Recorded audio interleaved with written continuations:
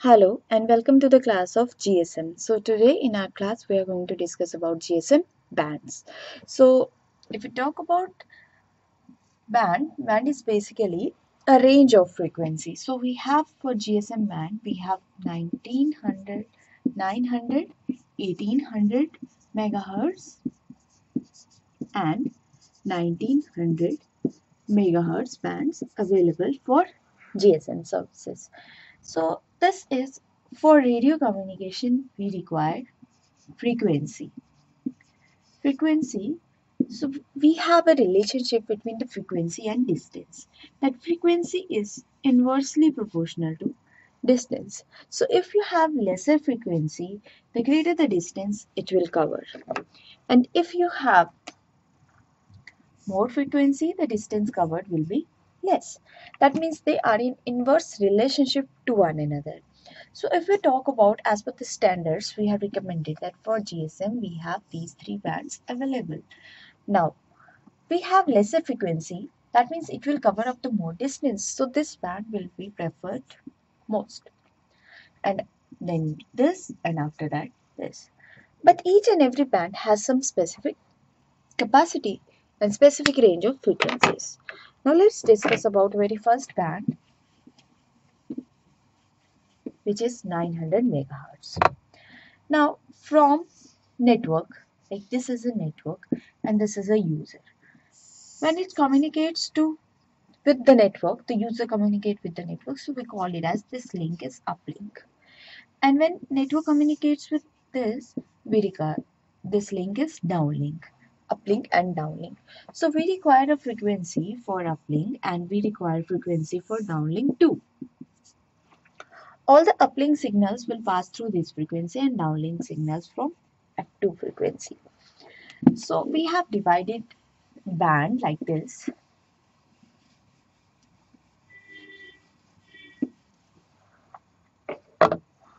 So we talk about 900 megahertz band. As per its division, it is 890 to 915 megahertz and 935 to 960 megahertz. Now this frequency we have reserved for uplink and this frequency for down. So while lesser the frequency for uplink because UE or mobile station has a lesser power and it requires to cover up the distance to the network. So lesser frequency it will cover more distance. More frequency less distance but the power of the network is more as compared to mobile station. Now the space that means this space We call this space as channel spacing. Channel spacing. I can say that if in a FDD mode we have divided FDD frequency division duplex. This is a frequency, this is a time. So we have this as uplink. We have this thing as downlink. In between we have this channel spacing. Now why channel spacing is required? So that uplink frequencies will not interfere with our downlink frequencies. That's why we need to give here channel spacing.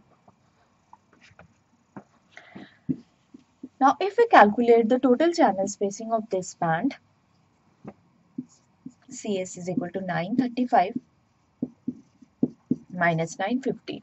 935 minus 915 which comes as 20 megahertz. So we have provided 20 megahertz as a channel spacing in this. Now let's calculate about total capacity of this band. So to 890, then we have 915. That means how many? We have 25 frequencies in this. So 890, then we have 891 in between we have FDM frequency division duplex that means 890.1 890.2 so on up to now here in this case we require to space. That means 20 kilohertz we require to have spacing between the carrier or 0.2 megahertz. So if we give 890 then we have to leave 1 and after that 890.2 because we need to have a gap of 200 kilohertz or 0.2 megahertz. This would be possible from this. So that means we have 10 divisions but we have neglected one because we need to provide a space because again interference problem. So that means we are left with only 5 so we can multiply this number 25 with 5 so we have 125 so again, I will clear this. From 890 to 890, we have 10 divisions for the FDMA. But we need to provide a space between the carriers so that carriers will not interfere with one another. Because in FDMA, we have to take care of interference at the most. So we have 10, but after spacing, we need to leave 5. Then we are left with only 5. So 25 multiplied by 5, we have total number 125. But we have to leave 1 as a guard so we are left with 124 number.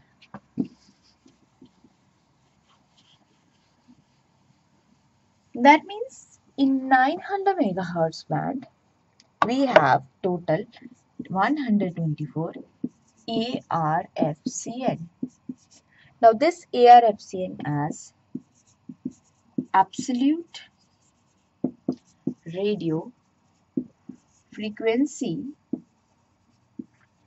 channel number. So this is basically the number of the total channel. For example, we have here FCN1 corresponding to this we have frequency 890. Number 2 890.2 because we are leaving 0.2 megahertz as spacing between the carriers. Then 890.4. Now this is a frequency and this is a channel number. So this we call it as absolute radio frequency channel number. So this is how we uh, calculate the total number of ARFCN in a band. Now, other than this, we have concept of duplex spacing. Duplex spacing is basically the space between the first downlink and first uplink. It will be same because we require a dual carrier for uplink and downlink also from last to last again the same difference will be there.